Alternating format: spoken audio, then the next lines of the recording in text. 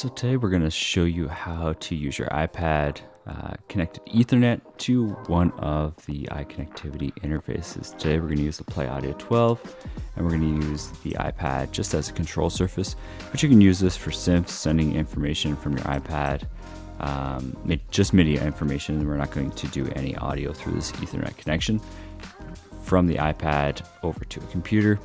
And so let's kind of look through that. So I'm using a USB-C, an iPad Pro with USB-C hub connected. The USB-C hub has an option for an Ethernet connection. If you're running a Lightning connected devices, they also sell the Lightning to Ethernet adapter. Make sure you get a good one because I've seen some kind of knockoff brands not work so well.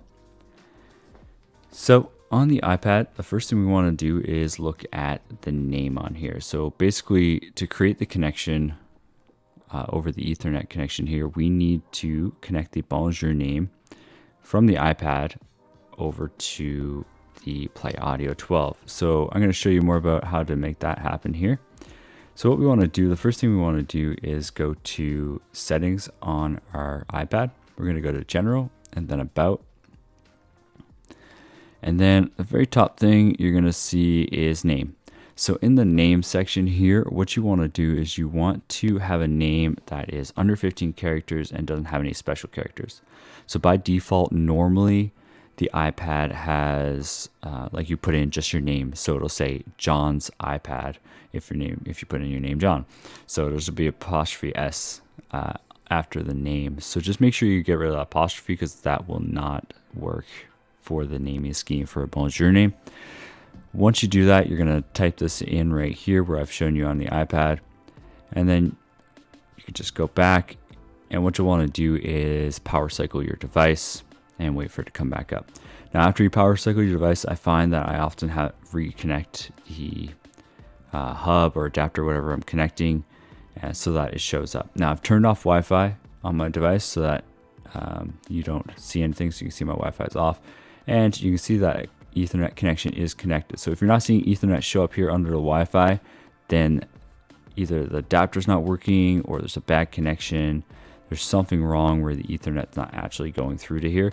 So make sure that you're seeing Ethernet show up in your settings or you're going to be having problems right off the bat. We're going to use Lemur today as the control surface software. I set this up in a previous video with the Play Audio 12 and Mio XM where we're connecting it USB. Uh, for this one, we're connecting it Ethernet, so it's a little bit different of a setup. And you can do this still, I'm doing it with a Play Audio 12, but you can do this with a Mio XM if you so choose. So let's get the settings set up for this. So I just have a simple play and stop button. Um, they're going to MIDI target zero. You can look at some Lemur videos to see how that works out or my last video just to get these buttons going. So we're gonna click the gear in the top right corner here.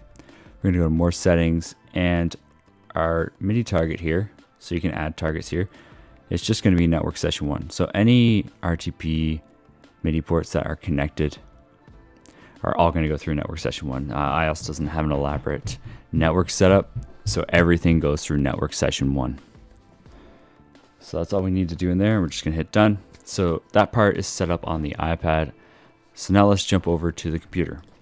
And on the computer here, we are in Auracle for X Series. I'm on a Windows 10 computer, but the same setup is exactly right for a Mac as well. So we're just going to go to our Play 12, which is connected USB, um, because this is would normally be like a, a, playback type computer or something with a DAW where you're connecting USB to your Play 12. So let's go to RTP slash network MIDI and let's make the connection from our Play 12 to our Ethernet connection on our iPad. So what we want to do in here is we can take any of these four ports. I'm going to take the first one for this example, but you can take any of them. And each port is going to give you a 16 MIDI channels to run information in and out on. So let's go to and switch the first one to initiator. And then you can see it says IP or name. Uh, it's selected name by default. So this is to be the bonjour name that you want to type in here. So you need to get this exactly right if there's capital letters. So mine was I, capital P-A-D, capital T-E-S-T. Then we're to click save and we should make a connection between the iPad and the Play Audio 12. And you can see iPad test shows up right here. We've made a connection. Now the only thing we need to do is to get from our computer to get to that RTP session, which is very simple for the Play Audio 12. If you go to MIDI routing, you'll notice that under the USB or device port to computer slash DAW, you'll see that there is actually already one called RTP1, which goes to the iPad. So you can actually rename this to iPad if you so choose. Um, but we just know that RTP1, which was the one that we connected up out here, the first one, is going to the iPad. And so this is already set up. You don't have to do anything with it. So now this should work.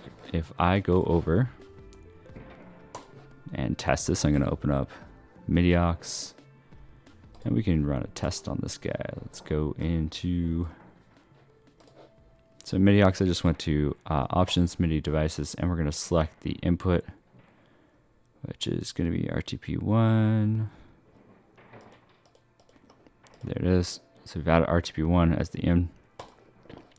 And then I have an input monitor, which you can click up here for the input monitor.